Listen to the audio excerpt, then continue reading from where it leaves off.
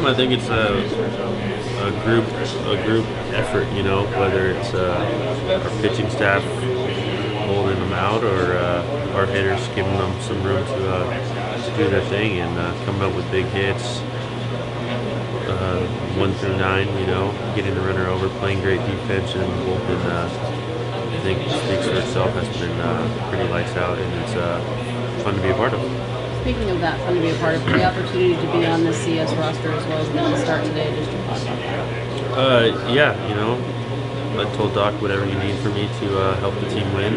Uh, when uh, the first series, when he said I wasn't going to be on the roster, I said whether it's cheering him on or pinch hitting or bunting him over or whatever you need, that's uh, kind of been my attitude. And uh, we have a special thing going, so I'm just trying to do whatever I can to contribute.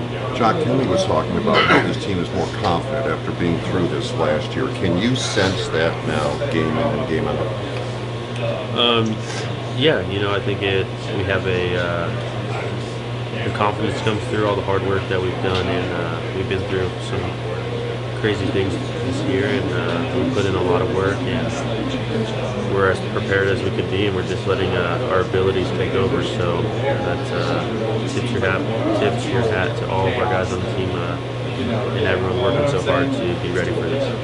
Joc, what do you think about the lineup as a whole? I maybe because when we leave home runs, don't chase pitches out in the zone, work the count. What, what is it? Is it individually instilled upon you guys? Um, yeah, I think that uh, as a group we're doing a great job getting to the bullpen early and uh, being selective. Uh, good teams and offensively don't really swing at bad pitches and make the pitchers come to them. And we did a great job today and have been doing a good job the whole uh, postseason um, swinging at pitches that we can drive and do some damage with. So uh, pretty cool to execute our plan. You guys have a nice cushion 3 3 but how important is it to maybe close this tomorrow? Uh, we're going to do everything we can to win a game just like we do every day. I don't think we're going to attack it differently. Whatever we need, we're going to try to do and uh,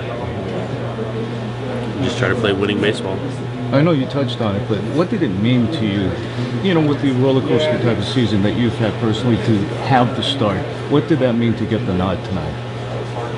Uh, I mean, just anything can happen, you know. So uh, you got to stay ready for an opportunity to make the best of it.